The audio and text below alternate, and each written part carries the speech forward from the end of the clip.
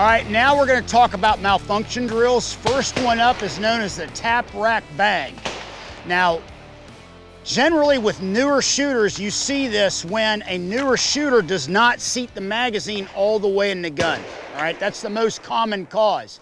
Second to that would be a bad round, bad primer and whatnot. With the amount of ammunition that's being manufactured today, it's becoming fairly common. Used to be back in the day in my classes, I would rarely see it. Now, in about every class I teach, I see a bad round of some kind. All right, so I'm gonna take you through it. All right?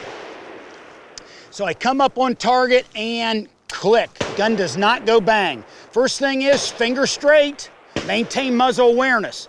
I want to bring the gun back into my working space, so I bring it back. I want to fully seat the magazine. When you do this, make sure you're hitting on the magazine and not the bottom of your hand.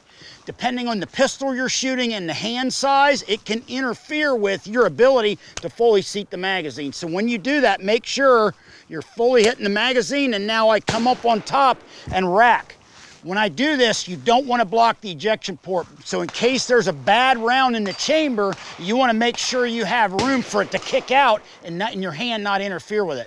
So it's tap on top, rack, let it go all the way, and then bang. All right, let me set it up again so you can see it again. All right. So once again, I come up on target and bang.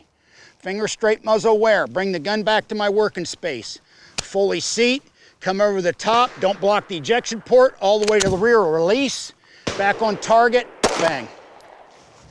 There it is, tap rack bang.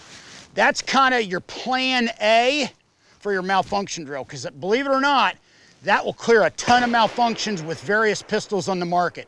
You want to start with that malfunction first, unless you can see, unless you get a visual confirmation that a tap rack bang will not fix the problem, therefore you can bypass that step. But generally, that's a good first step, a plan A.